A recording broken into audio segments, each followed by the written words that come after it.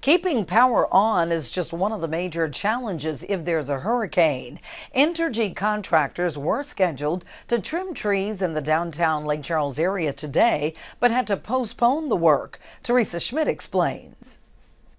Entergy officials say the trees are on a cycle, and right now, what they call the East Broad feeder lines are scheduled.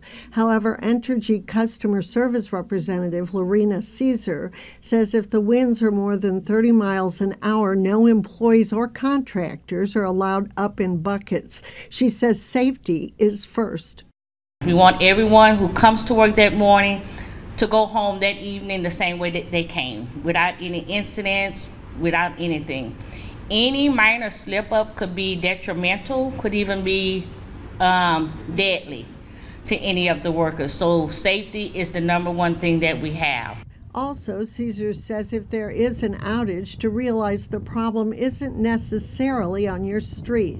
If you don't see trucks in your area, it's not because we're not working in your area, it's because they are working on providing the source to that power to get over to you.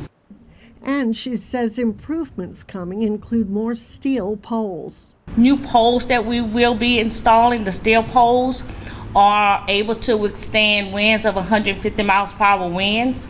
So that is good to know because you know the strong winds and, and the tornadoes. Of course, when tornadoes hit, you know that's a whole different that's a whole different ball game.